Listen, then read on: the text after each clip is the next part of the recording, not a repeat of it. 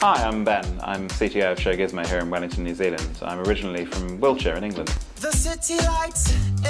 As a developer, your concerns about coming to Wellington are going to be it's a little town on the edge of the world and everyone there will be chewing hay. It's not like that at all. We have some world class firms in Wellington doing some amazing things. The community is incredible.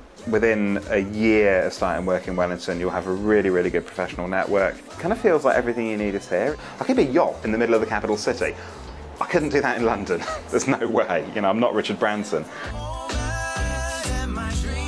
So there's a lot of collaboration between firms in Wellington, and not just at the startup level.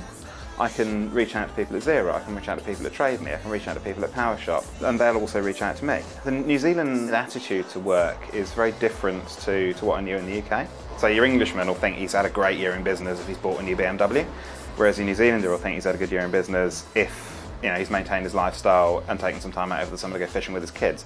And I think that's a lot more healthy. The geographical remoteness doesn't really seem to be a factor in terms of taking product to the world. ShowGizmo, we're, we're taking global. Um, we're taking that to Australia. We're being very successful in Australia, taking it to the States. Something I have noticed is you get an awful lot of POMs who come over here to have a look and end up staying. And you get an awful lot of New Zealanders who go to London and do a year and go, yeah, that was nice, and then they come back. So that's telling you something. This is genuinely an awesome opportunity. Someone is going to fly you to Wellington, put you up for a week, take you out, show you the sights, show you a good time, set you up with a bunch of interviews with a load of world class firms. You'd be an idiot not to take them up on it. Come and have a look see.